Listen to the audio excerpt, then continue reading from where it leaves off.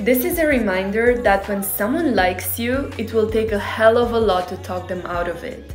Nothing small that you said or did or a small mistake will turn them off, unless they're already looking for an excuse to leave. Especially you showing interest in them should be a good thing. It should make them ecstatic, not turn them off. So stop wondering what you did wrong. They're just not the right match for you.